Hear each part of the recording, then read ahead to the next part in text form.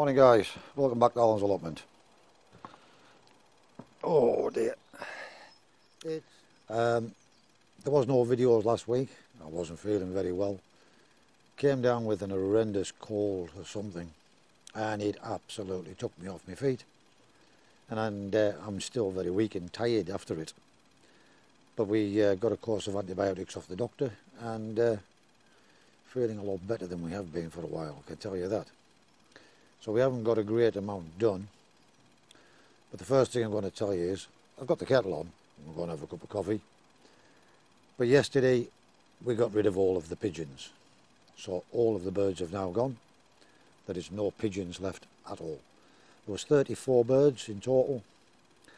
And I found somebody who would take them off my hands, job lot. So we let them all go and we gave them away. So they've gone to the new home yesterday I had to drive about 50 miles out and another 50 miles back um, to get rid of the, the last of the birds. So uh, that's it, end of an era with the pigeons. They've all gone now, that'll lighten the burden slightly and it'll let me concentrate on just growing on growing plants and things like that. So we're going to try and get a little bit done today and uh, we'll see what we manage. I'll bring you along. Right guys, so we've uh, brought you down to the polytunnel now. What I've done is I actually planted uh, some lettuces out yesterday as well. And as you can see, we've had some slugs at them already.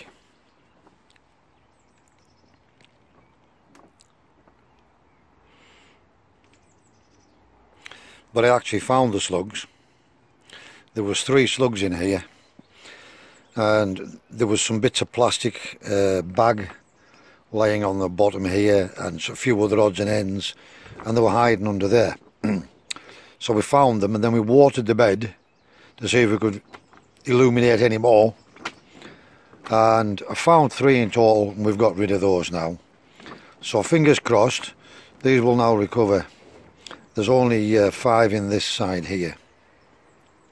At the same time we planted some uh, Lollo Rossa ones uh, in here. So there's five Lollo Rossa in here. And they're coming along quite nicely. And there's one dwarf kale there. And then we've got three uh, best of all, uh, all year round lettuce. And then we've got another three dwarf kale in there which seem to have taken okay. So we just give them another light uh, watering this morning. Um, we did come up through midweek only to water these and these have started picking up and they're now starting to go into flower. We're going to look at trying to get these put into um, strawberry planters. Likewise with these, they are recovering. We'll end up checking those, uh, taking those out of the pots and getting them repotted as well guys. The garlic's doing really nice. Shouldn't be long till that's ready now um, even if we eat it green as they call it uh, which is straight fresh out of the ground. We should be able to start harvesting some of this shortly. So uh, yes that's some more seeds planted out and another tray of uh, seedlings moved on. Right guys we're over in the growing area now and the first thing you'll notice is we now have another protection cage. So I got the plastic on that and we've got the uh, mesh on the lid. And again thanks to Steve from Greenside up for his uh, inspiration on this one. I'd uh, seen these on Steve's uh, channel and I decided I was going to make myself some of these. So what happened midweek uh, last week. I mean, it's been two weeks since I put up a video now. The first week I was really ill. Yes, the following week I managed to get up. That was the week we had a lot of gales up here. And as I dreaded, the wind had taken this and threw it over here somewhere. And as a result of that, we lost one of the cabbages. But not to worry. As you can see, the rest of them are all coming along really, really well in here now the other five. And then I'd called into Morrison's and we got some uh, broad beans in a tray for two quid. So I put three in that space where we lost that cabbage. The onions are starting to pick up in between here now. They're a bit slow but they are getting going and they're established now. Then into this bed here I've planted some cauliflowers also that I got from Morrison's because mine is still only this big. So I've got one two three four five six in here. And um, I can see I'm getting a little bit of damage on them already. Hopefully they're going to get established before they get any worse. But then I pop, popped in the other three cells of broad beans in between here as well guys. This bed is still empty at the moment. The potatoes are now starting to poke up and I think we're past our last frost yet but I'm not 100% certain. But as you can see all the potatoes are starting to pop up now. Just starting to show the head. So hopefully the timing is just being right with that. I'll have to keep an eye on the weather. Uh, and if it does forecast any frost then we're going to have to get up here and throw a bit of fleece over or something. So what I've also just done now is I've just filled up this bed here and what we've done is we've planted um, Charlotte second earlies from here across here and we've put 15 seed potatoes in. And then we've got the kestrel on that side and we've got 12 seed potatoes in there.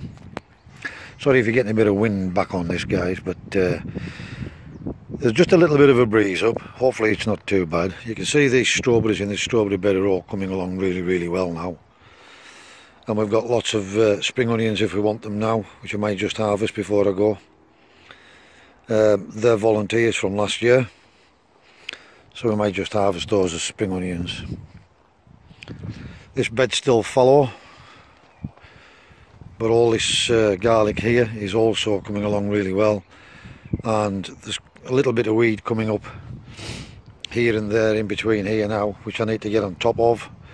I made a little start and done a little area here. Uh, yeah. Apple trees just starting to leaf some of them. Some of the dwarf apple trees that we've had many years just starting to leaf out. Again we cut them back severely so they're taking a while to get re-established again now uh, but we did get apples off this one last year and I can see it's flowered again already. As long as the, the, the bullfinches don't come and nip these off which they tend to do there's actually quite a bit of flower on this one this year.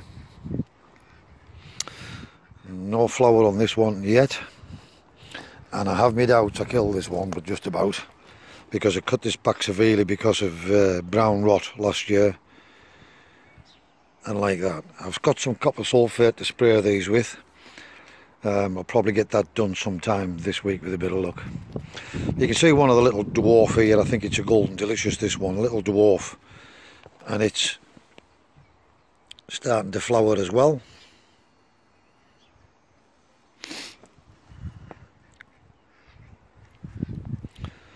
On almost every branch. We have another dwarf apple here. Uh, it has a foreign label on it, so I'm not sure what variety it will be.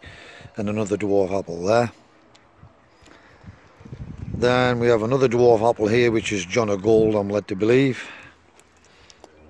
And it looks like we're getting some flower on this. And that. And then we've got the little bush cherry and we've got another dwarf apple here which is three varieties on one but it yeah so you can see the different colours in the foliage. And we've even got a bit of bloom on one of these. And as you can see it's just a little stick. I'll have to be careful of that because if all those turn into apples I'm going to have to take them off uh, down to one perhaps because that'll snap otherwise. But it looks like we may get either that's either new leaf or some flower we don't know on that one. But that's a three variety tree. This side here hasn't actually taken this. It's, it's obviously died back. Although this is part of this one here and a secondary branch which doesn't appear to be doing anything but this this bit here is took. So that's that.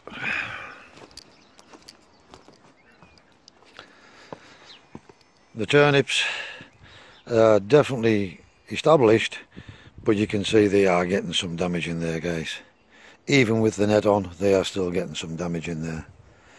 Again we've got more garlic all coming along nicely. Uh, we weeded that bed but we still need to get in that one and weed it.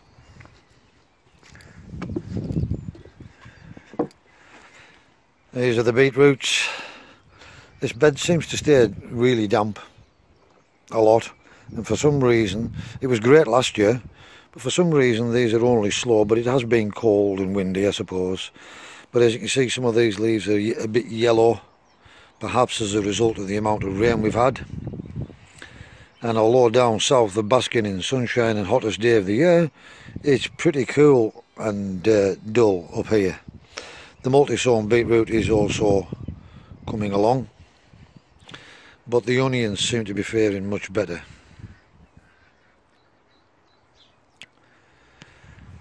And then last but not least we got some more plants planted.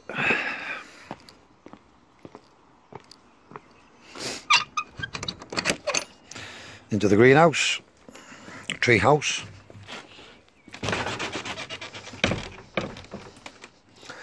And you'll see we've got some more lettuces in here, so we've got all year, all year round I think they are, or yeah. Then a Lollo Rossa, all year round Lollo Rossa, and we've alternated these ones and uh, they seem to have got established. Crimson Bonfire peaches we still haven't got pl planted into the other polytunnel yet. But perhaps we'll get that done shortly. Peach lost all its flower now. Don't know we'll have to wait and see whether any fruit actually develops on that. I don't know whether they got pollinated or not.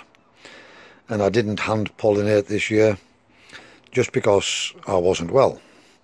And then in here we've got six more dwarf curly kale. So it's just making use, it's giving me that little bit of extra growing space in here guys. I don't know how well they're going to do but yeah let's just wait and see. We've now got a bit of leaf on this uh, peach tree that we bought from Morrison's. You can see we're stocking topped it down to this height to give it room to grow uh, but we're going to try and keep it semi-dwarf. This lemon tree, um, it's still not looking too good in here. And we'll give it a little bit longer, although we have got some new growth here. We'll wait and see what happens. But it's the leaves are still curling and it's looking a bit pale. Uh, and although this bed looks really dry, as you can see it's not from that good soaking. It may just be that it's still a bit too wet and it needs to dry back a bit more. The apricot, nothing at all, no leaf on this at all. Bit surprised at that when the other apricot is already in full leaf. Unless it's to do with the two different types, I don't know. And the better looking peach tree here has no leaf either.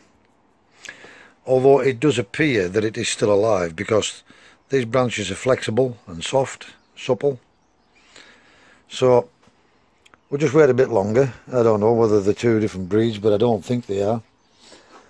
But yet the orange is doing positively well, and you can see the massive amount of flower coming on this orange tree. So it seems to be positively loving it in there. And again, the bed looks really dry. But as you can see, guys, it's not. So we don't want to go over I can be tempted to water that and think it needs water when it really doesn't. So I'm trying to keep this side semi-dry. Um, but obviously the lettuces and the kales will need occasional drinks. So for now that's just about it guys. Right, right guys with the rest of the day I've basically just taken my time with the hand mower doing a little bit at a time and getting the grass cut. Got the Jack grandchildren coming up uh, to the allotment on um, Bank Holiday Monday for an Easter egg hunt again like they did last year. We'll just hide some packets of sweeties around the allotment and let them go and find them. So the grass was looking a bit untidy and getting a bit long, few weeds, dandelion, dock leaves, etc. So I basically decided we would just cut the grass, take me time, and just do a little bit of time, stopping regularly and uh, having breaks. So we've got that done, that's a good job jobbed. Uh, these are our two uh, trial cabbages in the pots, looking positively well.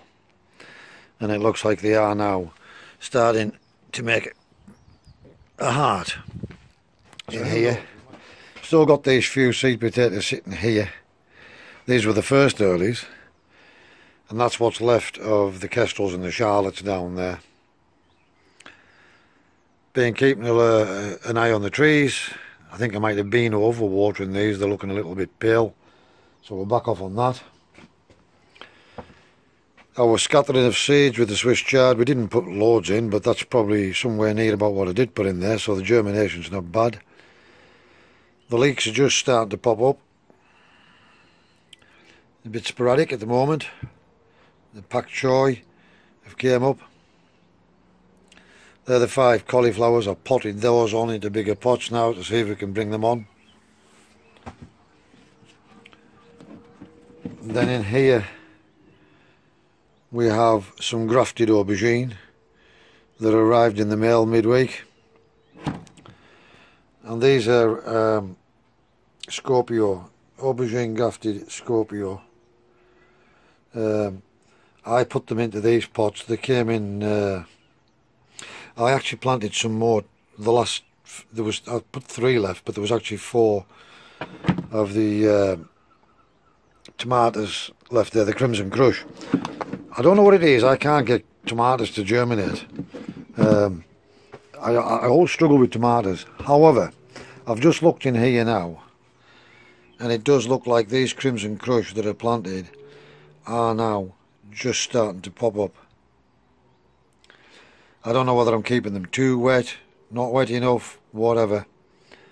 Uh, but the other stuff we planted, the aubergines and the uh, Marketmore cucumbers, as yet no sign of those, but the onions are doing positively well that we've transplanted into here.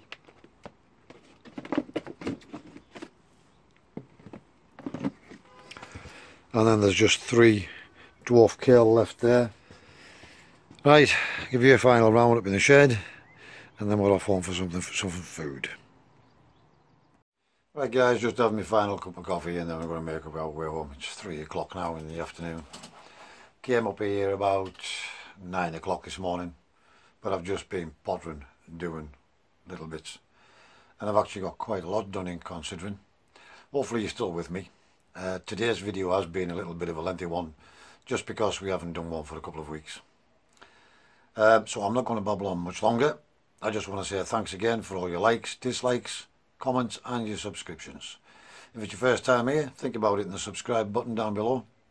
Select the, select the little icon, uh, bell icon, select all, and that'll alert you every time I put up a new video. Of course it's free to subscribe to the channel. For now guys, wherever you are in the world, please stay safe, be practical, keep yourselves out of harm's way. Thanks for watching, and we'll see you again in the next video.